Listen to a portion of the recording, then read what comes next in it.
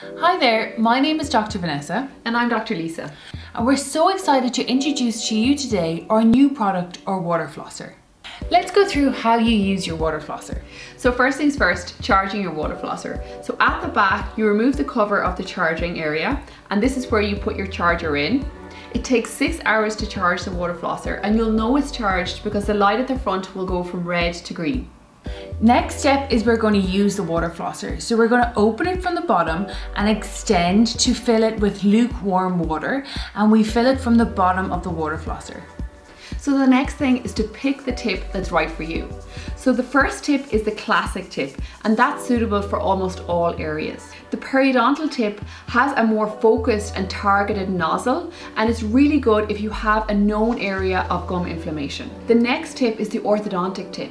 So if you have braces or you're using an orthodontic appliance, you can use this tip to get in around the wires and to remove plaque and food. The last tip is a tongue scraper and this is amazing for removing plaque and bacteria from your tongue, which is great for freshening breath. So once you've picked your tip, you just simply insert it into the top of the water flosser. To change the tips, you simply press the release button at the back and pull the tip off. Some advice on using the water flosser. Try not to look in the mirror when you're using the water flosser, but rather lean over into the sink. Try not to turn the water flosser on until it's fully in your mouth, which will stop spraying. So then all you need to do is to move the flosser First, start at the back and move it all the way around the outside of your teeth, and then start on the inside of your teeth and move it all the way around the inside of your teeth. So to turn on, you just simply hold the power button for three seconds. And to move between the settings, you just simply press the power setting until you've reached the right setting for you.